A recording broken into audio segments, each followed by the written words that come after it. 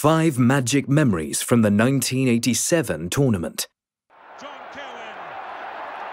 Opening shot from mesmerising Kirwan restored All Black faith.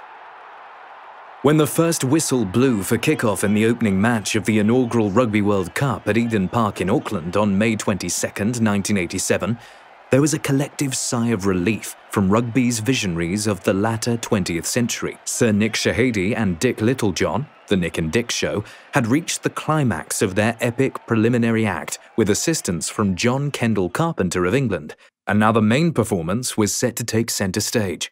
Zinzan Brooke, a rookie among an All Blacks squad riddled with great names before him, fondly recalls the opening match.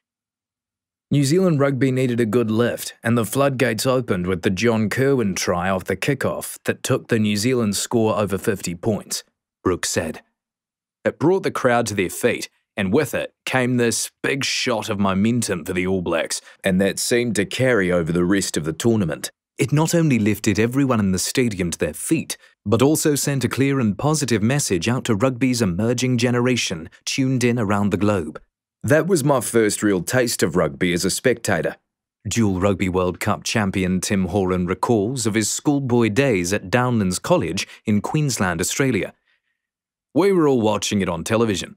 It was my last year at school, and I was playing in the first 15, running out on weekends to 4,000 people watching our games. I used to try my best to imitate that try in training and in games at school. It certainly made rugby capture my imagination.